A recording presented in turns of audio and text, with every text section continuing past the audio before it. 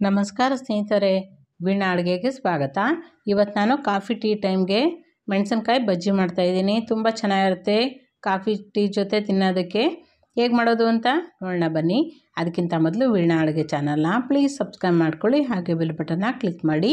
ಹೀಗೆ ಮಾಡೋದ್ರಿಂದ ನಾನು ಹಾಕೋ ವಿಡಿಯೋನ ನೀವೇ ಮೊದಲಿಗೆ ನೋಡ್ಬೋದು. ನಾನಿಲ್ಲಿ ಮೊದಲಿಗೆ ಒಂದು ಬಟ್ಲು ತೊಗೊಂಡಿದ್ದೀನಿ. ಅದಕ್ಕೆ ಮೂರು ಟೇಬಲ್ ಸ್ಪೂನಷ್ಟು ಹುಣಸೆ ಹಣ್ಣಿನ ರಸನ ಹಾಕೋತಾ ಇದ್ದೀನಿ. ಇದಕ್ಕೆ ಕಾಲು ಟೀ ಸ್ಪೂನಷ್ಟು ಜೀರಿಗೆ ಪುಡಿನ ಹಾಕ್ಕೊಳ್ತಾ ಇದ್ದೀನಿ. ರುಚಿಗೆ ತಕ್ಕಷ್ಟು ಉಪ್ಪು ಹಾಕ್ಕೊಳ್ಳೋಣ ಅರ್ಧ ಟೇಬಲ್ ಸ್ಪೂನಷ್ಟು ಹಚ್ಚ ಖಾರದ ಪುಡಿ ಹಾಕ್ಕೊಳ್ಳೋಣ ಅರ್ಧ ಟೇಬಲ್ ಸ್ಪೂನಷ್ಟು ಧನಿಯಾ ಪುಡಿ ಹಾಕ್ಕೊಂಡು ಚೆನ್ನಾಗಿ ಮಿಕ್ಸ್ ಮಾಡ್ಕೊಳ್ಬೇಕಾಗತ್ತೆ. ಗಂಟುಗಳಿಲ್ದಿರೋ ಹಾಗೆ ಚೆನ್ನಾಗಿ ಪೇಸ್ಟ್ ಮಾಡ್ಕೋಬೇಕು. ಈ ರೀತಿ ಪೇಸ್ಟ್ ಮಾಡಿ ಇಟ್ಕೊಳ್ಬೇಕು. ತುಂಬ ಚೆನ್ನಾಗಿರುತ್ತೆ ಮೆಣಸಿನ್ಕಾಯಿ ಬಜ್ಜಿಗೆ ಈ ರೀತಿ ಸ್ಟಫಿಂಗ್ ಮಾಡ್ಕೊಳ್ಳೋಕ್ಕೆ ಈಗ ನಾನು ಅರ್ಧ ಕೆ ಜಿಯಷ್ಟು ಬಜ್ಜಿ ಮೆಣಸಿನ್ಕಾಯಿನ ತೊಗೊಂಡಿದ್ದೀನಿ. ಇದನ್ನು ಚೆನ್ನಾಗಿ ತೊಳೆದ್ಬಿಟ್ಟು ಇಟ್ಕೊಂಡಿದ್ದೀನಿ. ಇದನ್ನು ಕೆಳಗಡೆ ತೊಟ್ಟು ಸ್ವಲ್ಪ ಕಟ್ ಮಾಡಿಬಿಟ್ಟು ಹಾಗೆ ಒಂದು ಗೆರೆ ಕಟ್ ಮಾಡ್ಕೊಳ್ಳೋದು. ಬೀಜ ಬೇಕಾದ್ರೆ ತೆಗು, ತೆಕ್ಕೊಳ್ಬೋದು. ನಾವು ಬೀಜ ಹಾಗೆ ಹಾಕ್ಕೊಳ್ತಾ ಇದ್ದೀನಿ ನಾನು. ತುಂಬ ಖಾರ ಅನ್ನೋರು ಬೀಜನ ತೆಗೆದುಬಿಡ್ಬೋದು. ಈ ರೀತಿ ಒಂದು ಗೆರೆ ಎಳ್ಕೊಂಡು ಹಾಗೆ ಓಪನ್ ಮಾಡ್ಕೊಳ್ಬೇಕಾಗುತ್ತೆ ಹೀಗೆ. ಈಗ ಎಲ್ಲನೂ ಮೆಣಸಿನ್ಕಾಯಿನ ಈ ಥರ ಕಟ್ ಮಾಡಿಕೊಂಡು ಇಟ್ಕೋಬೇಕು. ಈಗ ಮೆಣಸಿನ್ಕಾಯಿ ಬ ಕಟ್ ಮಾಡ್ಕೊಂಡಿರೋದಕ್ಕೆ ಹುಣಸೆ ಹಣ್ಣಿನ ಪೇಸ್ಟ್ ರೆಡಿ ಮಾಡಿ ಇಟ್ಕೊಂಡಿದ್ದೀವಲ್ಲ ಸ್ಟಫಿಂಗು ಇದನ್ನು ಸ್ವಲ್ಪ ಸ್ವಲ್ಪನೇ ಹಾಕ್ಕೊಂಡು ಎಲ್ಲನೂ ಚೆನ್ನಾಗಿ ಈ ರೀತಿ ಕವರ್ ಮಾಡ್ಕೊಳ್ಳೋದು.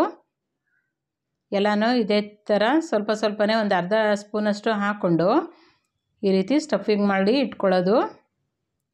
ಒಳಗಡೆ ಎಲ್ಲ ಸ್ಪೂನಲ್ಲಿ ಬೇಕಾದ್ರೂ ಮಾಡ್ಕೊಬೋದು, ಹಾಗೆ ಕೈಯಲ್ಲಿ ಬೇಕಾದ್ರೂ ಮಾಡ್ಕೊಳ್ಬೋದು.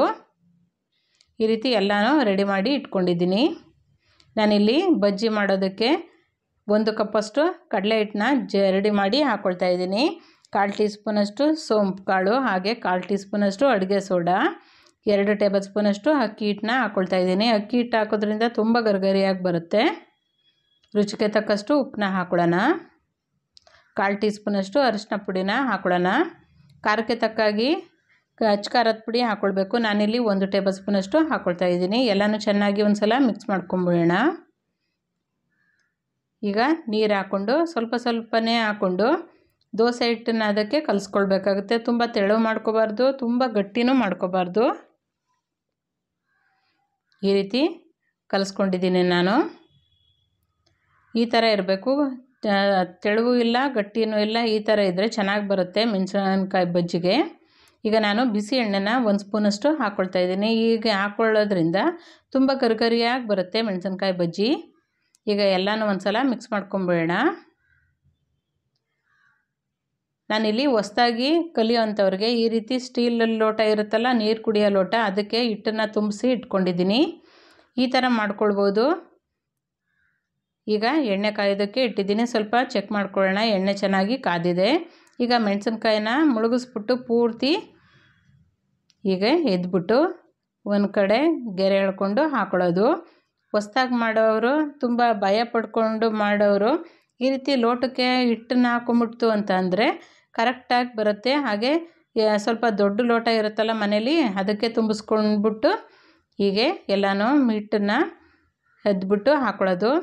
ಎಷ್ಟು ಬೇಕೋ ಅಷ್ಟು ನೋಡಿಕೊಂಡು ಹಾಕ್ಕೊಂಡು ಒಂದು ಎರಡು ನಿಮಿಷ ಬಿಟ್ಬಿಟ್ಟು ಮಗ್ಚಾಕೊಳ್ಳೋದು ಗರ್ಗರಿಯಾಗಿ ಬೇಯಿಸ್ಕೊಳ್ಬೇಕಾಗತ್ತೆ. ಚೆನ್ನಾಗಿ ಒಂಬಣ್ಣ ಬರಬೇಕು. ಅಲ್ಲಿವರೆಗೂ ಬೇಯಿಸ್ಕೊಂಡು ಎಣ್ಣೆನೆಲ್ಲ ಚೆನ್ನಾಗಿ ಶೋಧಿಸ್ಬಿಟ್ಟು ತೆಗೆದಿಟ್ಕೊಂಬಿಡೋಣ.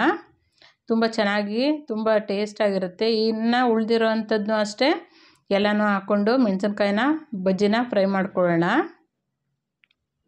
ಎರಡು ಕಡೆ ಚೆನ್ನಾಗಿ ಒಂಬಣ್ಣ ಬರಬೇಕು, ಒಳ್ಳೆ ಕಲರು ಬರಬೇಕು, ಗರ್ಗರಿಯಾಗಿರಬೇಕು. ಈ ರೀತಿ ಮಾಡಿಕೊಂಡು ತೆಗೆದಿಟ್ಕೊಂಬಿಡೋಣ.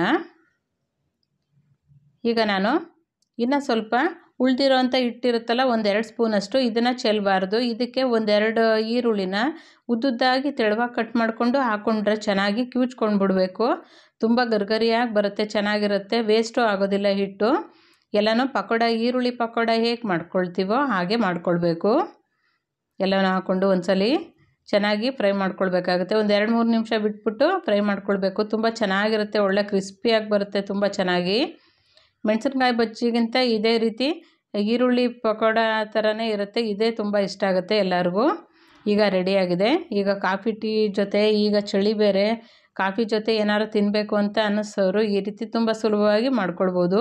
ಹೊಸ ಕಲಿಯೋರು ಈ ರೀತಿ ಲೋಟದ ಸಹಾಯದಿಂದ ಮಾಡ್ಕೊಳ್ಬೋದು ಬಜ್ಜಿನ. ಹಾಗೆ ಈರುಳ್ಳಿ ಮಾಡ್ಕೊಂಡಿದ್ದೀವಲ್ಲ, ಪಕೋಡ ಅದನ್ನು ಹಾಕೊಳ್ತಾ ಇದ್ದೀನಿ. ಉಳಿದಿರೋ ಅಂಥದ್ದು ಹಿಟ್ಟಲ್ಲಿ ಎಷ್ಟೊಂದಾಗಿದೆ ನೋಡಿ, ತುಂಬ ಚೆನ್ನಾಗೂ ಇರುತ್ತೆ ಒಳ್ಳೆ ಟೇಸ್ಟು.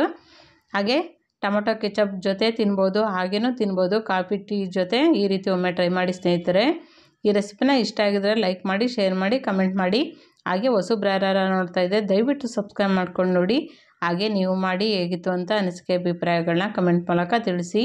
ಮತ್ತಷ್ಟು ಈಸಿ ರೆಸಿಪಿಗೋಸ್ಕರ ವೀಣಾ ಅಡುಗೆ ಚಾನಲ್ನ ಪ್ಲೀಸ್ ಸಬ್ಸ್ಕ್ರೈಬ್ ಮಾಡ್ಕೊಳ್ಳಿ. Thank you